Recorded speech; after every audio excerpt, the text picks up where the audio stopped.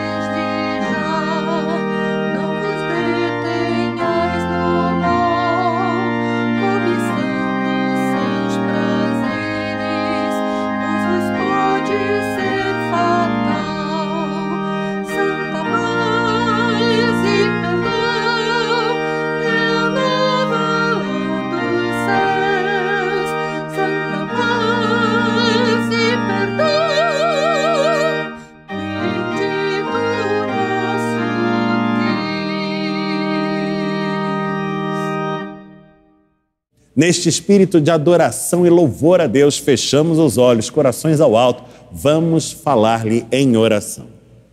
Senhor Deus, aqui estamos nós, debaixo da tua graça, animados pelo teu Espírito que em nós habita, para, em o nome de Jesus, tomarmos parte juntos nesta linda celebração. A celebração de ti mesmo e da vida que nos facultas vivenciar por força da tua graça, pelo poder que promana do teu amor por nós.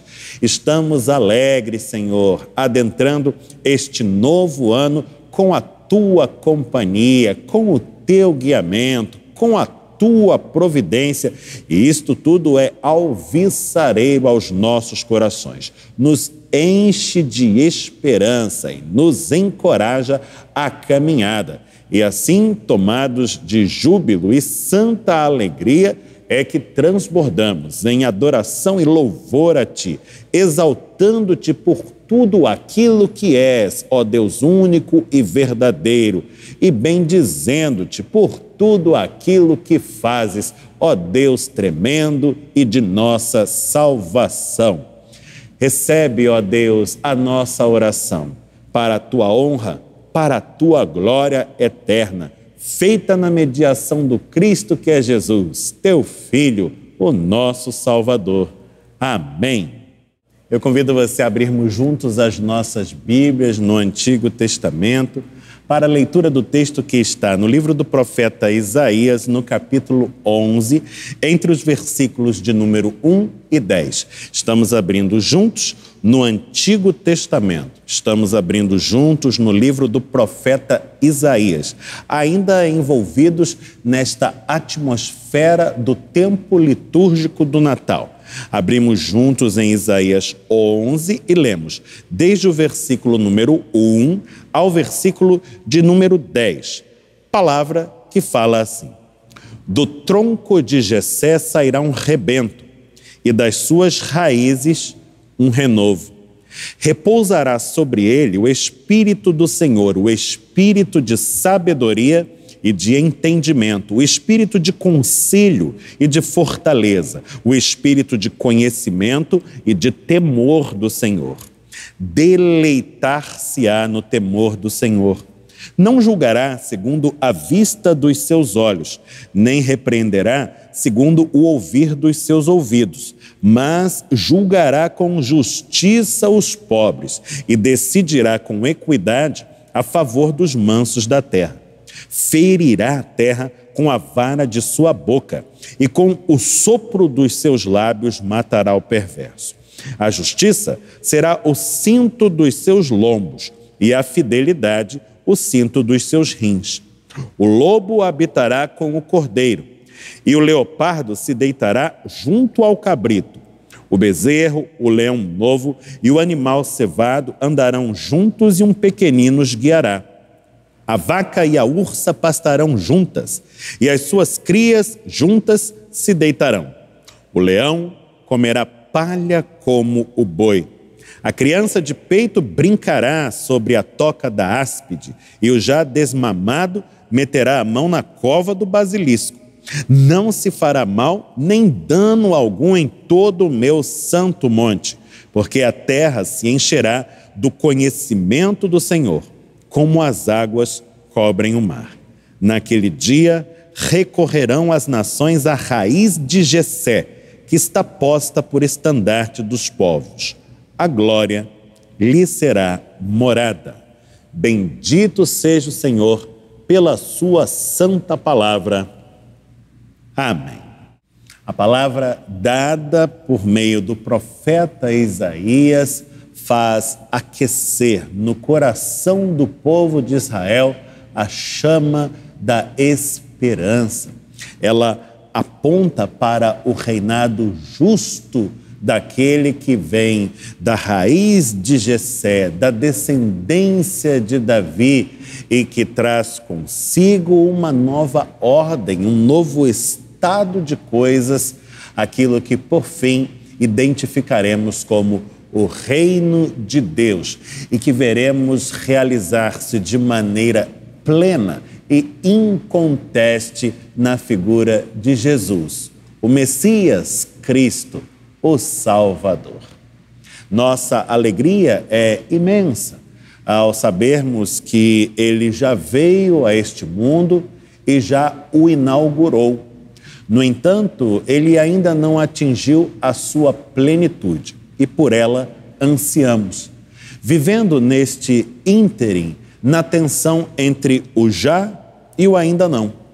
Haja vista que o reino já veio, mas ainda não se plenificou. E neste tempo de espera, lutas precisam ser travadas aqui. E nós sabemos disso, mas travamos todas elas inspirados pela palavra que de Deus recebemos, animados pela força que vem do seu espírito e na certeza das vitórias que havemos de colher e temos colhidos em o nome do Senhor Jesus Cristo.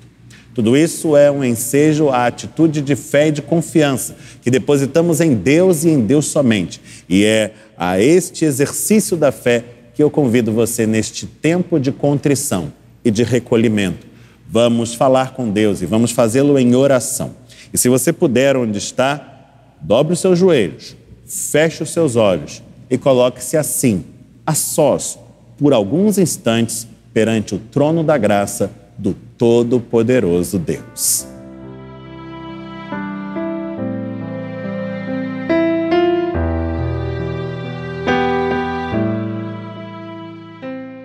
Senhor nosso Deus, Pai bendito, nós te agradecemos por este milagre que operastes em nossas vidas por meio de teu Filho Jesus, fazendo-nos passar do domínio das trevas para o reino de tua maravilhosa luz, por meio da graça e do perdão que nos concedestes ali, através da cruz do Calvário e do sacrifício remidor que nela se realizou.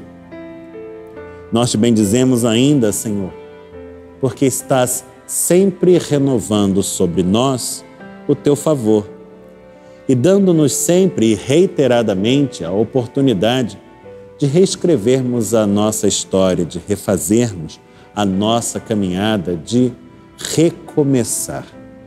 E esta novidade de vida que sempre outra vez mais se impõe à nossa experiência é tremendamente maravilhosa e nos faz quedar-nos agradecidos ao passo que maravilhados a tua santa providência, ao teu divino favor, ao teu inestimável cuidado, ao milagre que poderosamente promoves em nosso viver.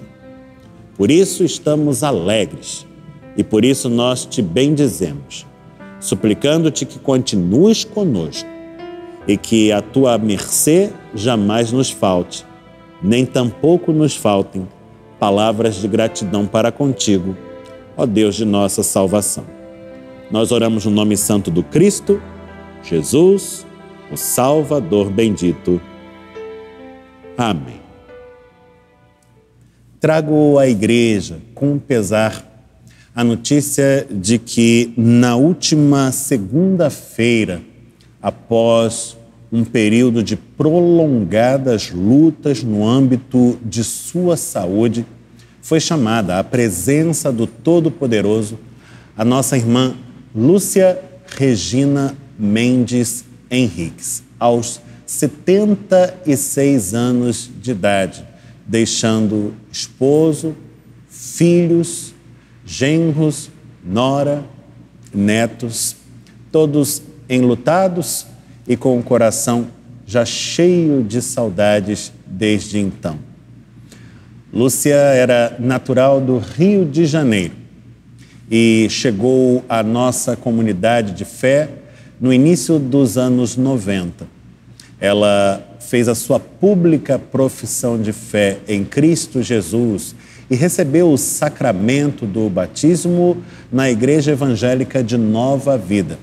E aqui na Igreja Presbiteriana de Copacabana foi admitida por jurisdição ex officio, conforme os termos da nossa Constituição, no dia 30 de março do ano de 1991.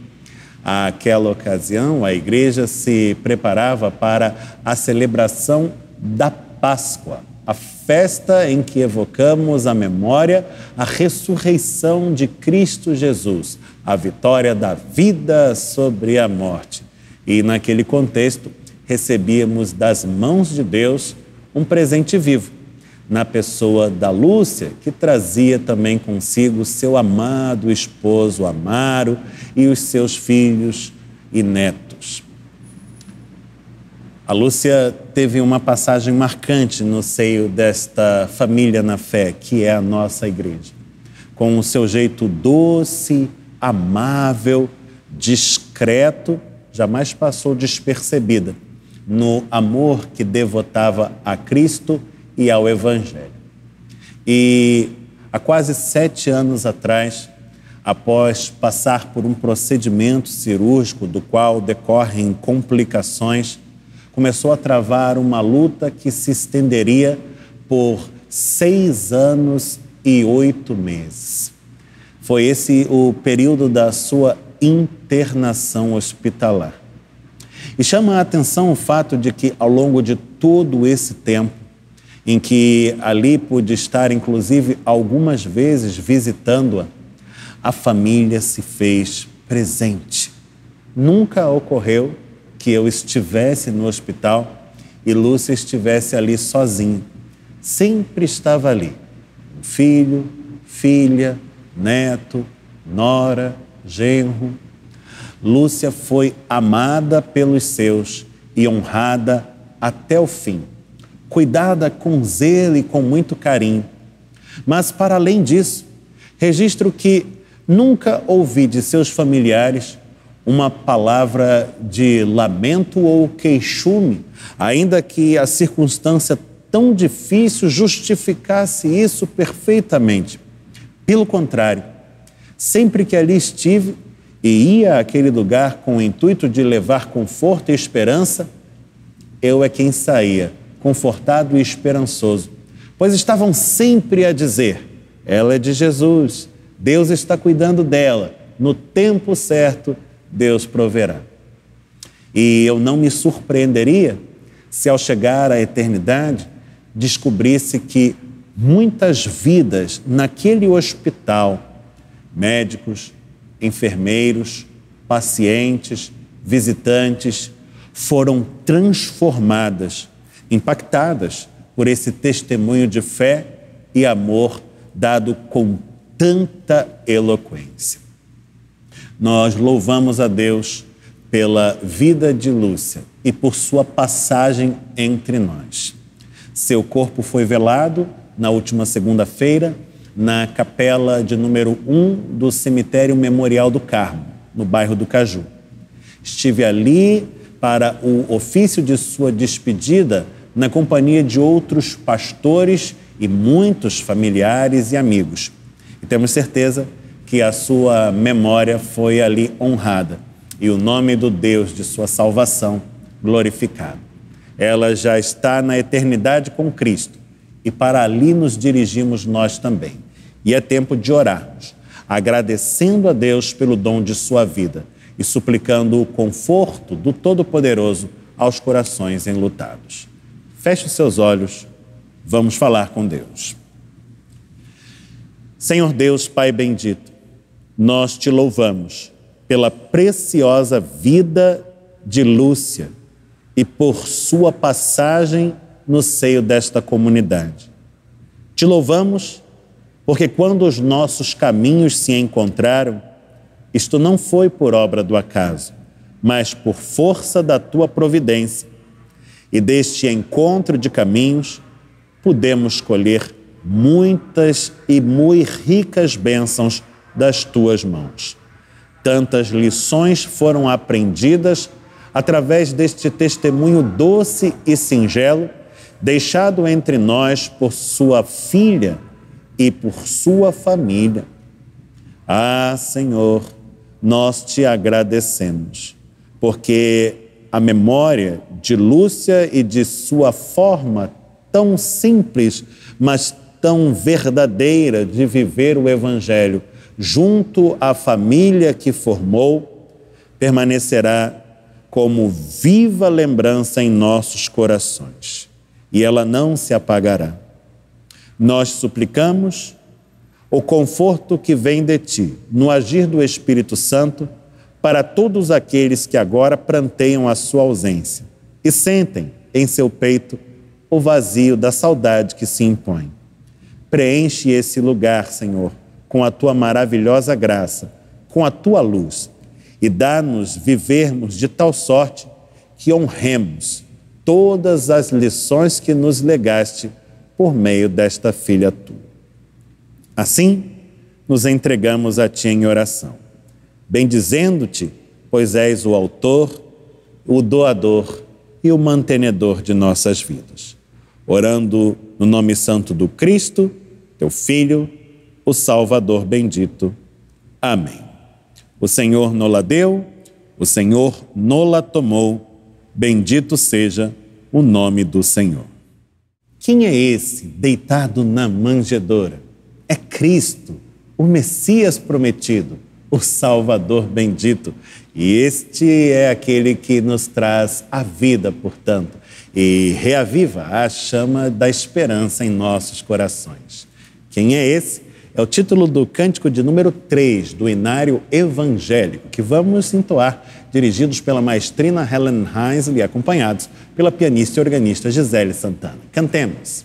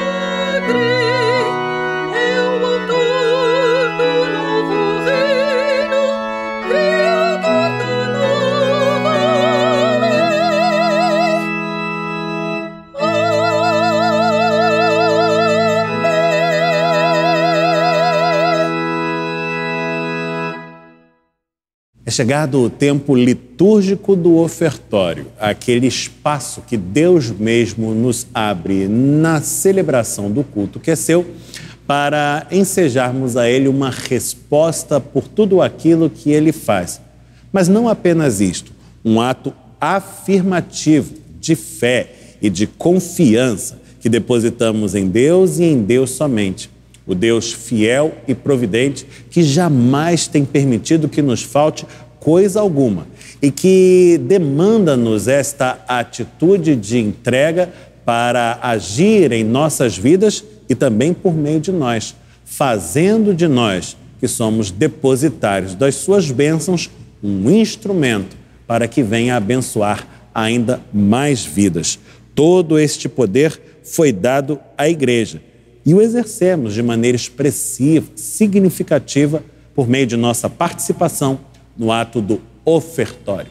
E você pode tomar parte nele de forma muito prática, servindo-se para tal dos meios eletrônicos e digitais disponíveis a este fim. Nesta hora, na sua tela, você encontra os dados da nossa conta corrente e assim pode fazer o seu Pix, sua transferência, seu depósito, tudo de maneira imediata e segura. O mais importante é que você não fique de fora. Participe e seja uma bênção na vida de muitos, como a igreja é uma bênção na sua vida também. Vamos orar e pedir ao Todo-Poderoso que consagre os recursos que confiamos aos cuidados da igreja. Senhor nosso Deus, nós te bendizemos por todas as graças que nos tens concedido até aqui, por todo o cuidado que tens para conosco, atento aos mínimos detalhes, de maneira que jamais nos falta coisa alguma e ainda temos a oportunidade de ofertar, partilhando aquilo que nos dás para que outros, como nós, sejam abençoados também.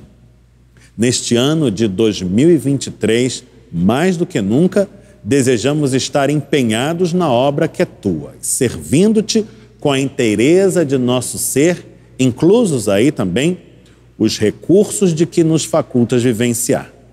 E nós te pedimos que estejas conosco, dando-nos condição de mais e mais nos fazermos partícipes desta obra e ajudar no avanço do reino que é teu, como um instrumento nas tuas mãos para a glória eterna do nome que é teu. Abençoa os dízimos e as ofertas do teu povo, consagra estes valores e que nas tuas mãos eles prosperem e se multipliquem e cumpram assim a tua vontade. Aqui no bairro de Copacabana, onde nos colocaste e aonde mais nos dirigires, esta é a nossa oração. E nós oramos em o nome do Senhor Jesus Cristo, teu Filho nosso bendito Salvador. Amém.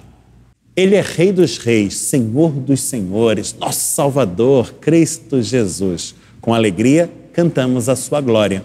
Ele é Rei dos Reis, tradicional melodia negro spiritual arranjada por Anna May Nichols, nas vozes do coro Aidea Moraes, com a direção geral da maestrina Helen Hines, do acompanhamento da pianista e organista Gisele Santana e ainda a edição em vídeo do nosso irmão Daniel Schmidt.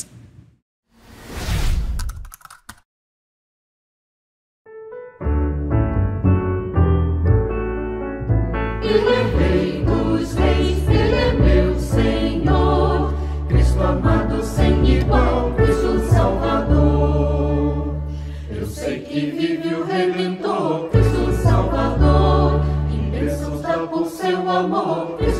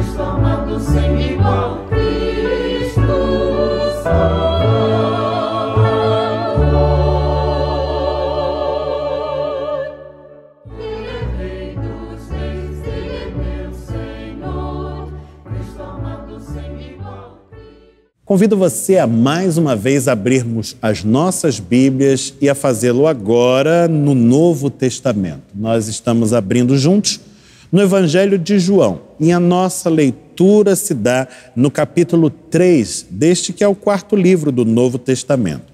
Estamos abrindo em João, no seu Evangelho, no capítulo de número 3, onde leremos desde o versículo número 1 ao versículo de número 7. Estamos em João, no capítulo 3, lendo desde o versículo 1 ao versículo número 7, palavra que diz assim: Havia entre os fariseus um homem chamado Nicodemos, um dos principais dos judeus. Este, de noite, foi ter com Jesus e lhe disse: Rabi, sabemos que és mestre, vindo da parte de Deus porque ninguém pode fazer estes sinais que tu fazes se Deus não estiver com ele.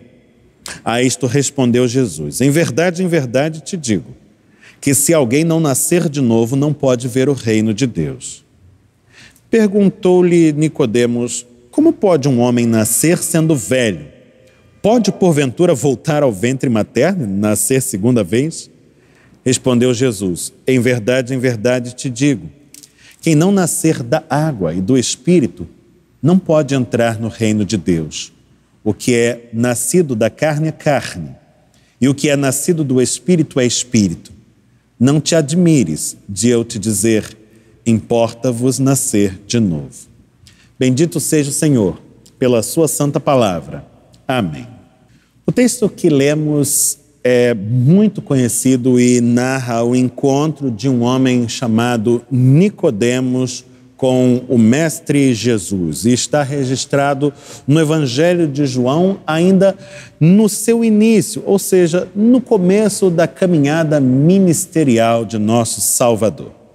E nós procedemos à leitura deste texto num contexto muito especial, que é este contexto de Ano Novo, uma data que mexe conosco e que mexe com todos mundo afora.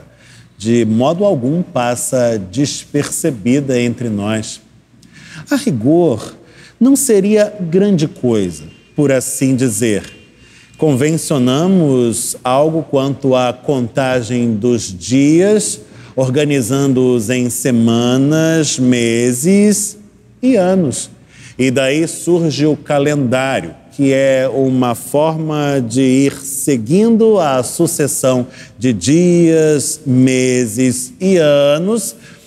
E o que estamos celebrando é o final do calendário de um ano e o início do calendário de um novo ano. Basicamente, Passamos do dia 31 de dezembro para o dia 1 de janeiro e o que muda a rigor nisto, salvo virar uma folhinha? Bom, aparentemente nada muda de substancial, mas ao mesmo tempo tudo parece mudar.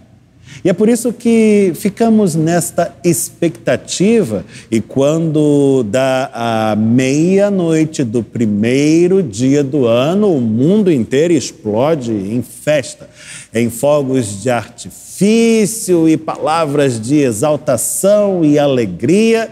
É como se a nossa esperança se renovasse e o reinício do calendário nos ensejasse uma oportunidade de reiniciar todas as coisas, de fazê-las todas de novo.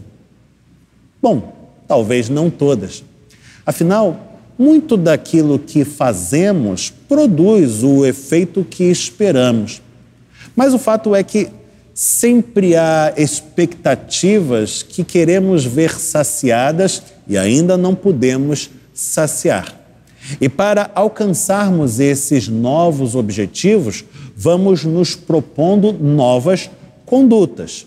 Afinal, Se continuarmos fazendo tudo da mesma forma, vamos esperar os mesmos resultados do nosso proceder. Mas se tentarmos algo diferente, talvez consigamos produzir a mudança almejada. E assim vêm os planos de ano novo aquele curso em que vamos nos matricular, aquela dieta que pretendemos fazer, a atividade física que vamos iniciar e tantas outras coisas mais. Tudo isto é muito positivo. E o texto que nós acabamos de ler nos fala também destes recomeços, ou de um recomeço fundamental e mais urgente que qualquer outro e é nesta perspectiva que nos debruçamos sobre o relato e apreciamos, de maneira ainda que breve, a conversa ou parte do diálogo travado entre Jesus e essa interessante figura chamada Nicodemos. Não sabemos muito sobre esta personagem, mas aquilo que o texto nos dá a conhecer é relevante Parece que a cena se desenrola no contexto de Jerusalém, a cidade santa. Isto nos é dado no versículo 23, no capítulo de número 2. Estava ele em Jerusalém durante a festa da Páscoa, registra o evangelista. E naquele lugar, naquela cidade, no contexto daquela celebração onde há uma efervescência religiosa muito pronunciada, trata-se a Páscoa de uma das festas de peregrinação do judaísmo de então. E a cidade de Jerusalém, neste momento, fervilhava de romeiros, peregrinos, vindos de todos os lugares para participar dos festejos realizados ali. Ora, é neste contexto, é nesta ambiência que um homem chamado Nicodemos, identificado como um fariseu, vai ao encontro de Jesus. Qualquer um que esteja minimamente familiarizado com os evangelhos saberá que os fariseus, em reiteradas ocasiões, foram antagonistas de Jesus e da sua mensagem. E estes eram homens que representavam um papel destacado na sociedade israelita de então, porque a forma como viviam chamava muita atenção. A própria palavra que os designa, fariseu, significa separado, distinto, e era desta maneira que eles buscavam viver, distintamente eram tão rigoristas no cumprimento de seus preceitos religiosos que se afiguravam como modelos que as pessoas muitas vezes desejavam imitar. Eram respeitados e buscados como conselheiros para esclarecimento de questões práticas do dia a dia que precisavam ser vividas à luz dos valores da fé. Eles ocupavam a maior parte das cadeiras no sinédrio o conselho de anciãos que dirigia a sociedade. E este homem, a quem o texto chama Nicodemos, era não apenas um fariseu, mas um dos principais dos judeus, destaca o evangelista. Veja que é uma figura muito importante, que faz parte do grupo que usualmente antagoniza Jesus e que vai ao encontro dele fazer-lhe perguntas e aparentemente buscar com o Cristo, conselho. Refere-se a Jesus, inclusive, por rabi, que significa mestre, tributando-lhe, portanto, uma deferência que é rara no âmbito dos seus. E talvez tudo isso nos ajude a entender o motivo pelo qual Nicodemos busca a Jesus não durante o dia, mas durante a noite em meio à escuridão, quando não é tão facilmente visto, quando o seu encontro com o Cristo pode passar despercebido, oculto, por assim dizer. Sabemos também que o vocabulário joanino é muito rico teologicamente e rico no sentido simbólico com que as palavras são empregadas. E sabemos que dentro da teologia e do vocabulário de João, trevas e luz são figuras para falar de vida e morte, bem e mal, santidade e pecado. Talvez a hora escura tenha também este componente, seja alusiva a esta realidade de confusão que vivencia Nicodemos até que por meio de um encontro verdadeiro com Cristo Jesus sua vida seja iluminada. O fato é que quando Nicodemos vai a Jesus, dirige a ele uma palavra que diz assim: Rabi, sabemos que és mestre vindo da parte de Deus, porque ninguém pode fazer estes sinais que tu fazes se Deus não estiver com ele. Note que curiosa esta palavra, ainda mais vindo de um fariseu e um dos principais. Ela é essencialmente uma confissão de fé. Nicodemos está declarando a autoridade de Jesus está declarando a sua procedência divina. E está fazendo isto com base no testemunho dos prodígios que Jesus realiza. É muito expressivo, é muito significativo, porém, muito mais impactante, chocante até, é a forma como Jesus lhe responde, de maneira muito contundente e mudando abruptamente o assunto em pauta. Jesus lhe respondeu dizendo: Em verdade, em verdade te digo, e note a repetição. Isto é o que chamaríamos de um hebraísmo. Dentro da língua hebraica, quando você quer reforçar algo que está sendo dito, você repete a palavra. Seria o equivalente na nossa língua portuguesa ao grau superlativo. O que ele quer dizer é que aquilo que vai afirmar é muito, muito verdadeiro e também muito, muito urgente. É verdadeiro e urgente numa intensidade muitíssimo elevada. Em verdade, em verdade te digo, afirma Jesus de forma contundente: se alguém não nascer de novo, não pode ver o reino de Deus. Veja, Jesus está impondo a sua agenda Há muitas preocupações no coração dos homens e muitas são as nossas preocupações com relação ao ano que começa. Como vai ficar a economia? Como vai ficar a política? Como vão ficar questões como saúde, segurança pública, educação, à luz do novo governo? Como vai ficar a situação das finanças de nossos lares face às dificuldades que esse novo momento pode suscitar. Será que melhora? Será que piora? Será que facilita? Será que complica? Como é que vamos gerir as nossas contas, pagar os nossos boletos, manter as nossas dispensas cheias, honrar os compromissos firmados? Como é que fica a questão da nossa saúde? Será que vamos conseguir fazer aquela dieta, aquela atividade física programada? Será que vai dar certo aquilo que idealizamos? Temos muita coisa na cabeça num ano que está por começar. E Nicodemos tinha também muitas expectativas acerca da conversa que iniciava com aquela figura tão ímpar que percebera como especial a figura de Jesus. Mas Jesus tem uma agenda diferente. E aquilo que traz tem para Jesus o sentido de urgência máxima, pois ele não veio a este mundo para tratar de amenidades. Veio para tratar de um problema fundamental veio enfrentar de forma direta e incisiva a realidade do pecado e das suas consequências.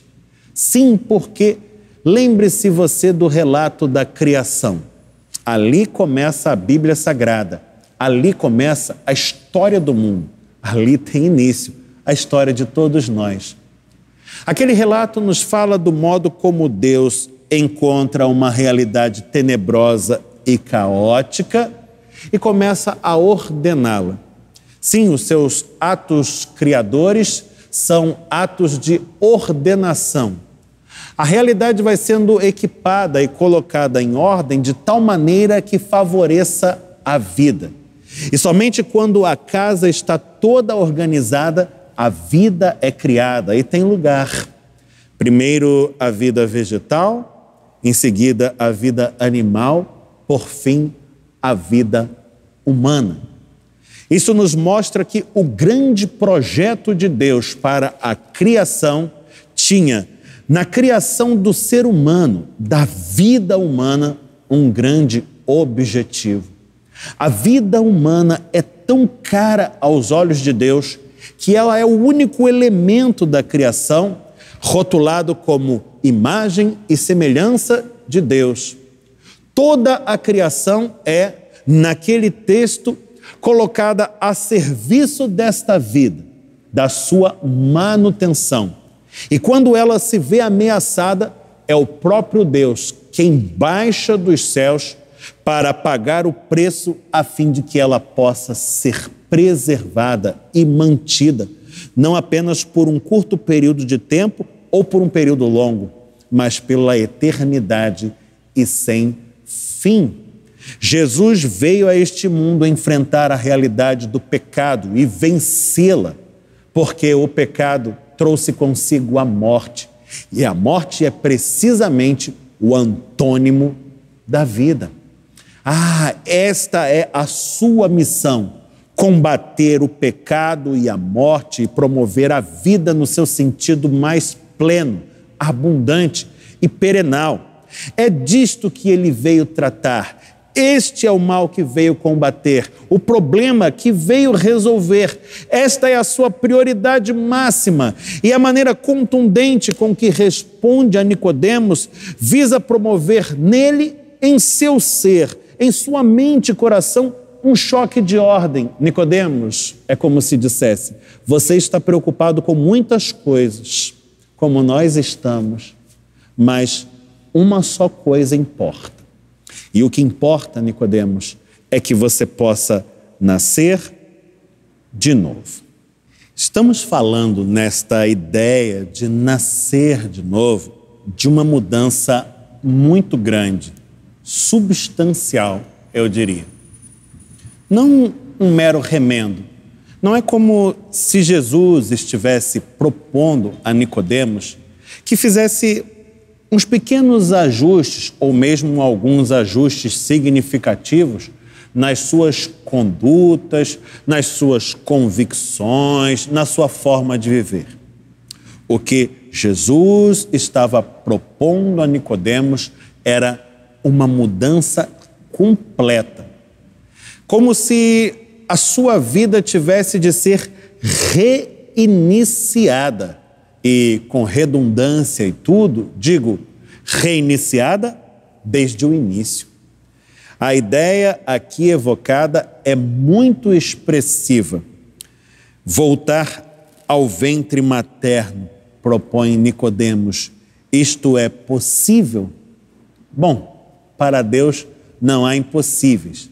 Porém, apenas por analogia esta figura nos serve, já que o tipo de nascimento a que se refere Jesus não é exatamente o carnal, mas um renascimento de ordem espiritual. Faz a distinção no versículo 6, o Mestre dizendo: O que é nascido da carne é carne, o que é nascido do Espírito é Espírito, e é neste sentido que a proposição é feita e reafirma a Jesus no verso 7, dizendo: Importa-vos nascer de novo, recomeçar, à luz de uma transformação de ordem espiritual, porém fundamental, basilar e de repercussão abrangente ou mesmo totalizante. Nas nossas vidas práticas se dá da mesma forma. Nunca podemos perder de vista que o texto não está apenas nos relatando um acontecimento ocorrido há centenas de anos atrás, com um homem que não conhecemos e de quem apenas ouvimos falar, num lugar muito distante e que pouca relação teria conosco. Antes, o texto é uma interpelação. E aquilo que é ensinado e proposto a Nicodemos é também ensejado a nós. Para isto, este texto atravessou as eras e chegou ao nosso encontro hoje.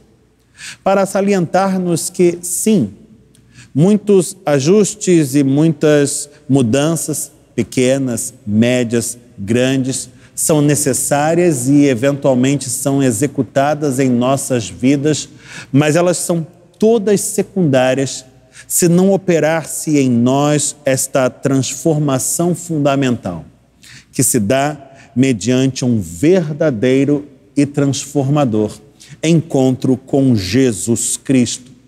É a luz do evento Cristo que toda a nossa vida recebe de Deus significado, sentido e valor. É tão somente a partir desse encontro com Ele que aquilo que experimentamos em nós poderá ser chamado de vida no seu sentido mais verdadeiro e pleno. É somente a partir desta transformação de caráter holístico, total, revolucionário, poder-se-ia dizer, que podemos experimentar de fato e de verdade qual o propósito do Criador para nós, suas tão especiais criaturas. E este é o ensejo do Evangelho para nós, em todo o tempo, mas que se torna ainda mais convidativo e apela-nos com ainda mais eloquência por ocasião da data que estamos vivenciando, do Ano Novo desejamos verdadeiramente a novidade de vida? Desejamos que este seja verdadeiramente um ano novo e feliz? Abramos os nossos corações, acolhamos o mistério desta graça transformadora que de Deus nos advém. Deixemos-nos amoldar pelo agir do seu Espírito e o poder que há em Cristo Jesus. E que assim Ele nos abençoe e tenhamos, de fato e de verdade, um feliz Ano Novo. No último domingo, vivenciamos com intensidade a celebração do Natal nos dois horários usuais. No culto matutino das 10 horas e 30 minutos, estivemos aqui reunidos, entoando tradicionais melodias natalinas, lendo os textos evocativos do nascimento de Jesus e meditando no sentido do Natal para nossos corações, para nossas vidas. Mas a nossa festa atingiu um clímax na celebração vespertina, o tradicionalíssimo culto das luzes, a igreja presente e a comunidade em festa, o coro Aidé Moraes entoando peças especialmente preparadas e selecionadas para essa ocasião. E ainda o momento sublime, quando entoamos a tradicionalíssima melodia de Noite de Paz com as luzes de Natal acesas e empunhadas por cada um de nós como uma chama de viva esperança trazida aos nossos corações pelo Salvador que é Cristo. Uma noite ímpar, sem igual, que fica gravada na nossa memória, nos nossos corações e que nos fortalece para prosseguirmos na caminhada neste novo ano, certos de que Deus amou ao mundo e por ele nos deu o seu Filho, que é o Salvador, Cristo Jesus. Hoje, dia 1 de janeiro de 2023, é o primeiro dia do ano e também domingo, o dia do Senhor. E nosso santuário estaremos reunidos de forma presencial em nossos horários habituais para a celebração do culto do Senhor, às 10h30 da manhã e às 18 horas também. E você é nosso convidado mais que especial para juntar-se a nós e para assim adentrarmos esse novo ano na companhia da família da fé, na comunhão dos santos e debaixo das auspiciosas bênçãos do Todo-Poderoso Deus. Venha somar-se a nós. Rua Barata Ribeiro, número 335, Copacabana, Rio de Janeiro, RJ. Eu estarei aqui e eu espero por você. E aproveitando o ensejo desta data, eu convido você, ainda uma vez mais, à oração. E nesta hora, nós vamos colocar diante de Deus aqueles projetos, sonhos que viemos acalentando para o ano novo que por fim chegou e já é vindo. Vamos suplicar a direção do Espírito Santo e a luz bendita que dos céus procede para iluminar o nosso caminho e fazer exitosa esta jornada que empreendemos desde agora é nosso desejo verdadeiro que se cumpra a boa, perfeita e agradável vontade do Senhor para as nossas vidas neste 2023. E vamos agora colocar todo este sonho nas mãos dele em oração. Feche os seus olhos e, com fé, eleve os pensamentos a Deus. Senhor Deus, tu sabes de todas as coisas, conheces o nosso coração sabes o que se passa em nosso íntimo e tens plena clareza quanto aos anseios que vamos acalentando dentro de nós a respeito deste ano que começa. São muitas as expectativas, os desejos, os sonhos que temos sonhado e que tu conheces também. E nós te suplicamos a tua bênção para esta nova etapa de nossa jornada. Seja na esfera de nossas vidas pessoais, com nossos muitos empreendimentos e esforços, trabalhos e estudos, relacionamentos e lutas que temos travado nas mais variadas esferas, seja na dinâmica de nossa vida eclesial, comunitária, como igreja que somos, como família da fé, nós te pedimos, ó Deus, a tua direção e o teu favor, a fim de que nesta nova etapa da jornada, uma vez mais, contemos com a tua condução segura, ó bom pastor, com a tua vigilância atenta, ó guarda de Israel, com a tua unção, ó Deus, que capacita e faz-nos instrumento para o cumprimento de uma vontade santa, perfeita, boa e agradável. Que se cumpra em nossas vidas a tua vontade, assim na terra como nos céus, e que a nossa prosperidade, o nosso sucesso, o nosso bom êxito aqui fale qual eloquente testemunho daquilo que tu fazes nas vidas dos que são teus, e que tudo isto sirva para a glória eterna de ti mesmo, mas também para a nossa alegria e a bênção daqueles que nos cercam. Este é o nosso desejo para 2023. Esta é a oração que nós te fazemos e a fazemos certos de que ouves a nossa voz e respondes ao nosso clamor, pois oramos na mediação do Cristo, Jesus, teu Filho, o Salvador. Amém. Ano novo é tempo de cantá-lo. Cântico de número 373 do Inário Novo Cântico. O entoamos dirigidos pela maestrina Helen Heisley, acompanhados pela pianista e organista Gisele Santana.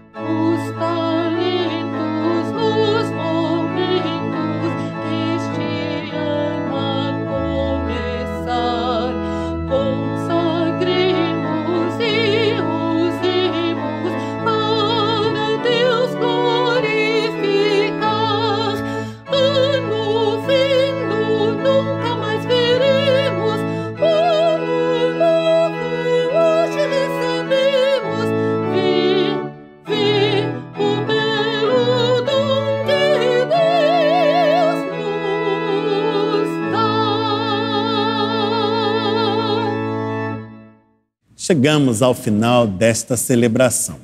A liturgia do culto vai declinando, mas prossegue a liturgia da vida num ano novo que está apenas começando, cheio de possibilidades, cheio de perspectivas, de potencialidades que vamos explorar ao máximo e desfrutar intensamente conforme Deus nos permitir.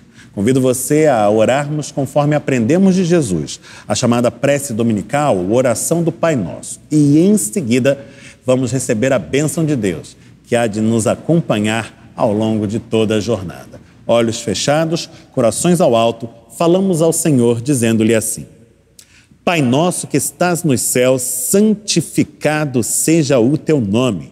Venha o teu reino, seja feita a tua vontade, assim na terra como no céu. O pão nosso de cada dia nos dá hoje.